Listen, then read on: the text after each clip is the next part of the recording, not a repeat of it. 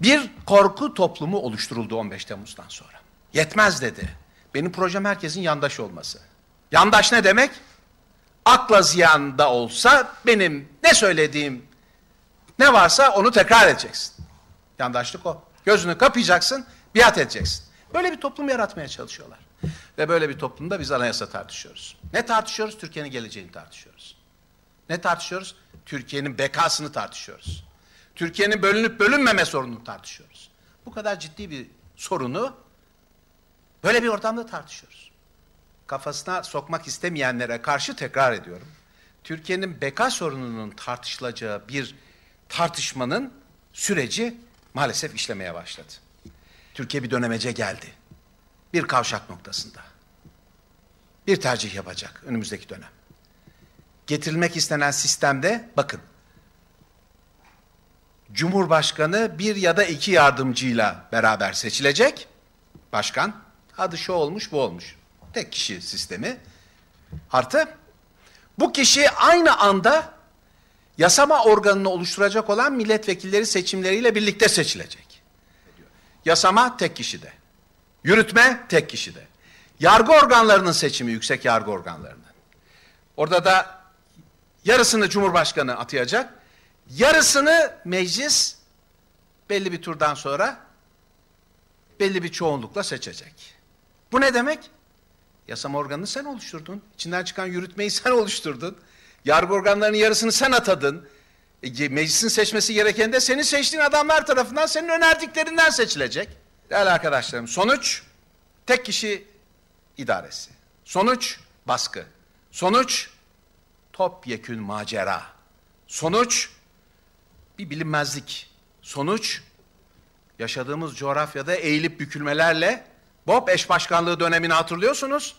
Bölünmeye giden bir Türkiye, federatif yapıya kavuşacak, gidecek bir Türkiye, Türkiye'nin bekasının tartışılacağı bir siyasi sonuç.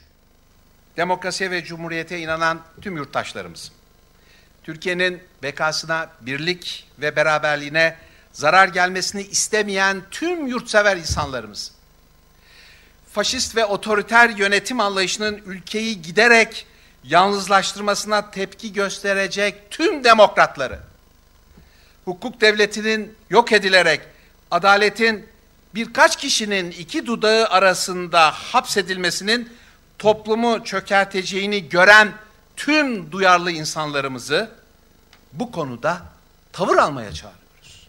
Biz üzerimize düşen siyasi mücadeleyi yapacağız parlamentoda. Ne pahasına olursa olsun yapacağız.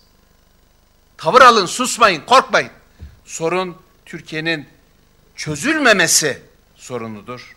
Sorun Türkiye'de rejimi değiştirmek ve cumhuriyeti sonlandırmak isteyenlerin atacağı son adıma karşı direnme sorunudur.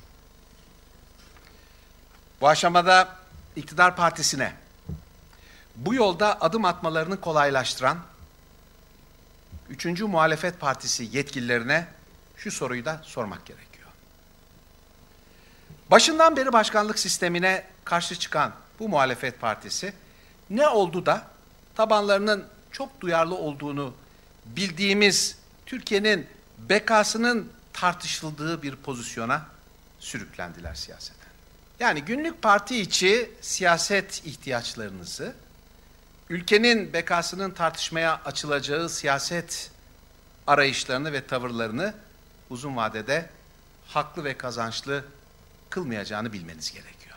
Bu arada Cumhuriyet Halk Partisi parlamento içinde mücadelesine devam ederken e, olağanüstü hal uygulamasının tüm kısıtlamalarına rağmen sokakta da e, siyasi görevine devam edecek. 3 Aralık'ta bu e, meyanda Adana'da Türkiye'yi böldürtmeyeceğiz mitinglerinin ilki büyük bir katılımla 3 Aralık Cumartesi günü yapılacak.